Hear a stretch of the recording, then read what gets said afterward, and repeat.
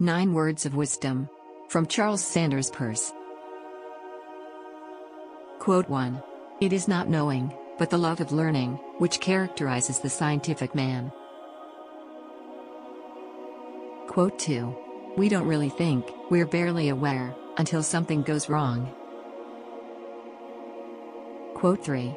All the evolution we know of has its origin from the vague to the certain. Quote 4. It's impossible not to envy people who can ignore reason, even though we eventually know how that turns out. Quote 5. The essence of belief is the formation of habits, and different beliefs are distinguished by the different modes of action that they evoke. Quote 6. It is a common observation that those who keep their hopes in mind tend not to realize the requirements of their actual situation. Quote 7.